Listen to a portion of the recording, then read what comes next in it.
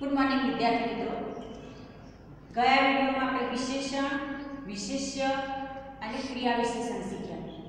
હવે ક્રિયા વિશેષણ વિશે મેં તમને સમજાવ્યું કે ક્રિયા વિશેષણ કોને કહેવાય? તો જે ક્રિયા એટલે કામ કરવાની કોઈ પણ શબ્દ વપરાયો હોય કામ સાથે. એને ક્રિયા વિશેષણ કહેવાય. એ ક્રિયાની અંદર જે વિશેષતા બતાવે એને ક્રિયા વિશેષણ તો આજે આપણે ક્રિયાપદ અને નામપદ વિશે શીખીશું હવે ક્રિયાપદ કોને કહેવાય તો સમજીએ. કે વાક્યની અંદર, ધારો કે આપણે એક વાક્ય લખીએ.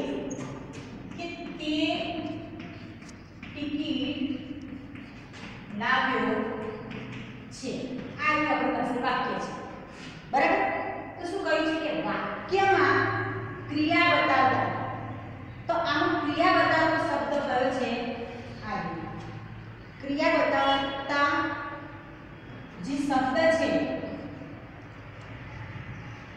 વાક્યમાં ક્રિયા બતાવતા પદ કે શબ્દને કે શબ્દ જોઈને આપણે ક્રિયા બતાવીએ.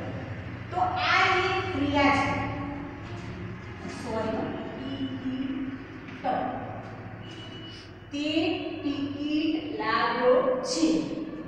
હવે આ ટિકિટ અને આ લાવવાનું તે એક વાક્ય આને શું કહેવાય સરનામું સરનામા વિશે આપણે પાછળમાં શીખી ગયા હતા કે નામને બદલે જે શબ્દ વપરાય એને શું કહેવાય? સરળ હવે ટિકિટ. એ કોઈ પદાર્થ કે વસ્તુનું નામ છે. એટલે એને કહેવાય નામ અને આ લાવવાની ક્રિયા એટલે આ શબ્દને શું કહેવાય? ક્રિયા ફળ તો ખ્યાલ આવી ગયો?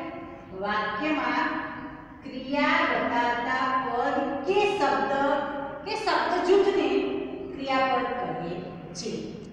ઘણીવાર કેટલાક વાક્ય એવા હોય કે એમાં માત્ર એક જ છે શબ્દ જ આવતો આ આખું બે શબ્દ આવ્યા છે, એટલે આ આખું આખું ક્રિયાપદ એવું આપણે એક વાત વાક્ય લખીએ કે વેદ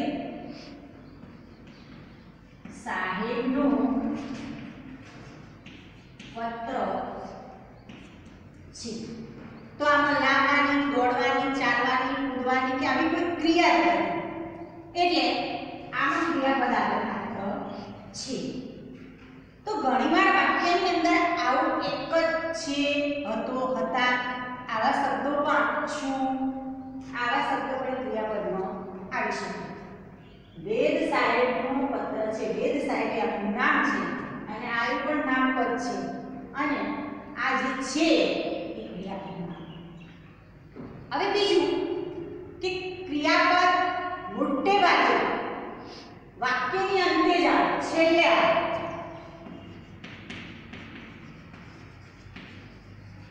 વાક્યની અંતે જ ક્રિયાપદ આવે પણ એવું નથી બનતું. ઘણા વાક્યો એવા હોય છે કે એમાં ક્રિયાપદ વચ્ચે પણ આવે છે અને ઘણા વાક્યો એવા હોય કે એમાં ક્રિયાપદ શરૂઆતમાં પણ આવે છે. તો હવે આપણે એવા એક બે વાક્ય જોઈએ કે ચાર મારી સાથે આવું વાક્ય છે. ચાર મારી સાથે આની અંદર આ ચાલવાની ક્રિયા ક્રિયા છે. એટલે આ શબ્દને ક્રિયાપદ કહીશું આપણે. તો શરૂઆત, વાક્યની શરૂઆત જ ક્રિયાપદથી છે ચાર મારી સાથે તો આ રીતે વાક્યની અંતે જ ક્રિયાપદ આવે એવું હોય છે, પણ ઘણીવાર આવી રીતે વાક્યની શરૂઆતની અંદર પણ ક્રિયાપદ આવી શકે છે. હવે બીજું કે કેટલીક વાર ક્રિયાપદ વાક્યનો વચ્ચે પણ આવે છે. તો આપણે એવું એક વાક્ય જોઈએ. તું ચાલ તો ખરા. એટલે અગિયારમું પાઠ આવશે, એની અંદર આવા ઘણા બધા વાક્યો આવે છે. તો આમાં આવું પણ વાક્ય છે. તું ચાલ તો ખરા. તો આમાં પણ ક્રિયા કઈ છે?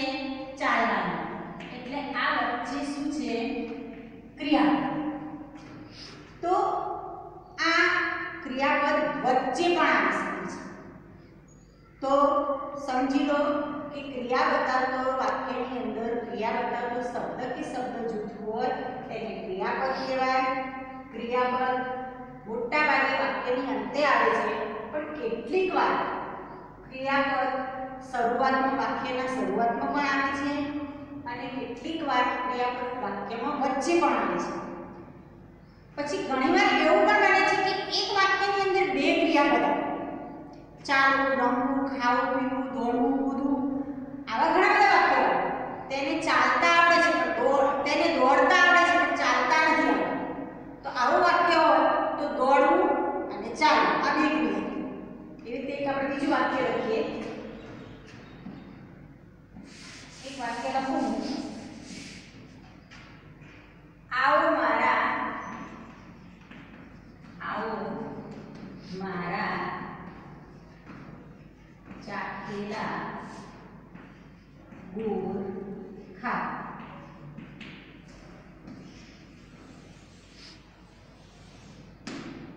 આ વાક્ય છે. તો આ વાક્યની અંદર બે ક્રિયાપદ છે. એક આવ. એ વાક્યની શરૂઆત. અને છેલ્લે છે ખા. તો આ રીતે વાક્યની અંદર કેટલીક વાર બે ક્રિયાપદ પણ આવી શકે છે. તો આ રીતે સમજી ગયા કે વાક્યની અંદર ક્રિયા બતાવતા શબ્દને ક્રિયાપદ કહે છે. ક્રિયાપદ વાક્યની અંતે આવે છે મોટા ભાગે પણ કેટલીક વાર વાક્યમાં ક્રિયાપદ વચ્ચે પણ આવે છે. કેટલીક વાર વાક્યની શરૂઆતમાં પણ આવે છે અને એક વાક્યની અંદર બે ક્રિયાપદ પણ આવી શકે છે.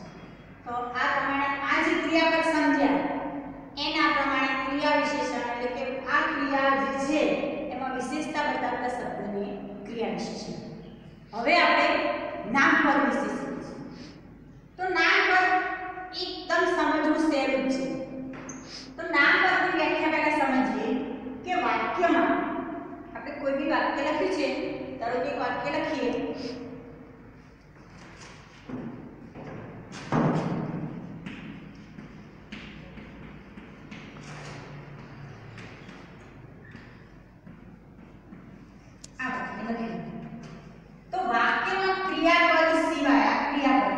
સિવાય,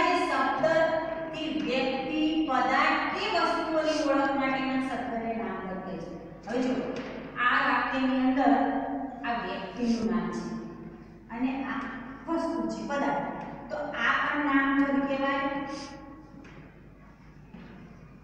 અને આને પણ નામપદ કહેવાય ખ્યાલ આવ્યો ક્રિયા બતાવતા જે શબ્દો હોય વાક્યની અંદર ક્રિયા બતાવતા જે શબ્દ કે શબ્દ જૂથ હોય, ધારો કે કોઈ વ્યક્તિનું નામ હોય, વ્યક્તિ એટલે એક સાઈડ વ્યક્તિનું નામ છે, પદાર્થ કોઈ વસ્તુ હોય, ખાવાનું, પીવાનું, કોઈ પદાર્થ અને વસ્તુનું કે એક પત્ર હોય કે કોઈ વસ્તુ હોય, એને નામ કહેવાય. અને નામ પર મોટા ભાગે ક્રિયાપદની આગળ આવે છે. હવે એક આપણે બીજું વાક્ય જોઈએ.